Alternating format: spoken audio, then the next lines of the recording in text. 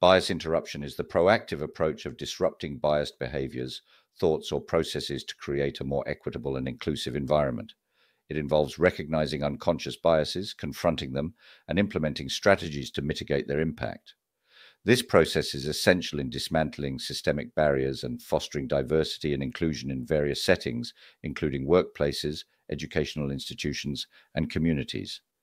In the pursuit of DEI, bias interruption serves as a crucial tool for promoting fairness, respect, and equality. By acknowledging and addressing biases, organizations can create a culture that values diversity and ensures that all individuals have equal opportunities for success. Moreover, bias interruption fosters empathy, understanding, and collaboration among diverse groups, leading to innovation and positive social change. Consider a hiring committee tasked with selecting candidates for a managerial position. Despite efforts to remain impartial, unconscious biases may influence the decision making process.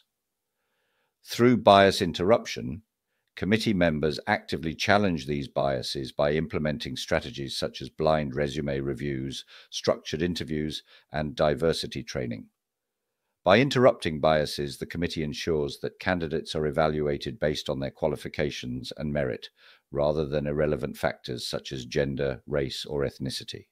To effectively integrate bias interruption into DEI initiatives, organizations can adopt various strategies, training and education, provide comprehensive training programs to raise awareness of unconscious biases, and equip individuals with tools to interrupt them effectively promoting diversity in leadership, foster diverse leadership representation, to cultivate an inclusive organizational culture and encourage diverse perspectives. Data driven decision making. Utilize data analytics to identify patterns of bias and implement targeted interventions to address them. Creating safe spaces establish forums where individuals feel empowered to address biases openly and engage in constructive dialogue.